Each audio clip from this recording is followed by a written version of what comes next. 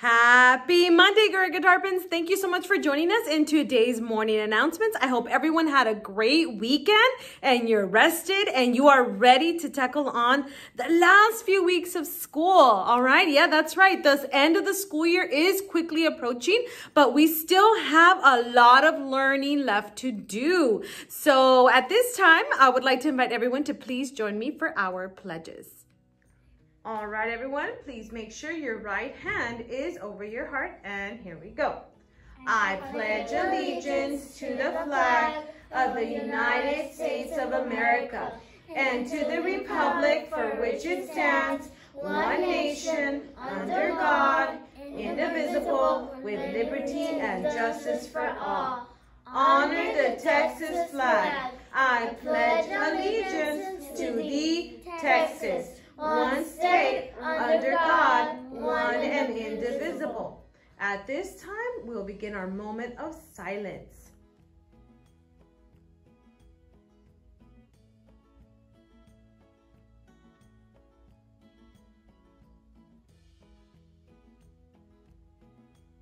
All right, everyone, you may have a seat. All right, everyone, you may go ahead and have a seat. Teachers, just a reminder, this is as per Mr. Jaime Hernandez, the cafeteria manager. We are not in the National School Lunch Program right now. Currently, we are in the summer feeding program, which is why we're doing curbside and which is why he is asking that all students who are present, so all the kids that are here, they must receive their meal.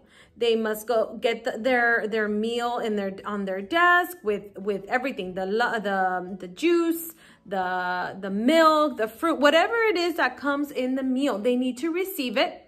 And boys and girls, if you don't want it, that's okay, but you still need to get it. It needs to come out of that ice chest and you can either throw it away or you can give it away, okay? So uh, teachers, please, please make sure that nothing is being sent back to the cafeteria if the student is present. Now, the student is absent.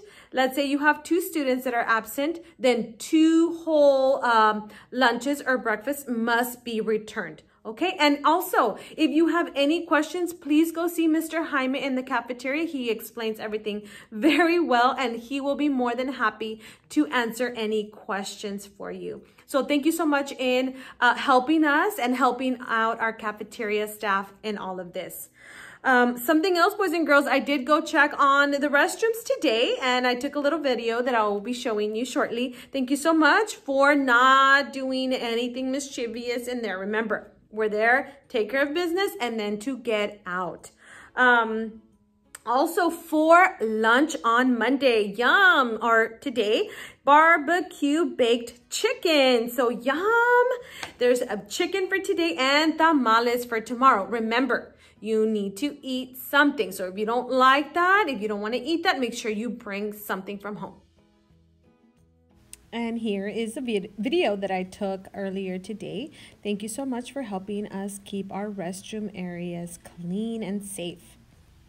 And a special shout out goes out to Miss Costilla for capturing this awesome moment. Thank you, Miss Chelsea Perdomo, for taking the time and spreading a little kindness around our school. That's right, boys and girls. Miss Chelsea is only in first grade, and here she is. She knew that her friend in her class was not able to play because um, he has a cast in his, on his arm, on his hand, and there she is. She decided, you know what? I'm gonna take some time from my my recess time, and I'm gonna go sit down with him and have a little talk and kind of cheer him up. And that is what kindness is all about. Thank you, Chelsea, and I hope um, other students learn from you. And teachers, if you do catch any students doing any acts of kindness, please, if you if you are able to take a picture and send it my way, I will definitely include them in in the morning announcements. Thank you.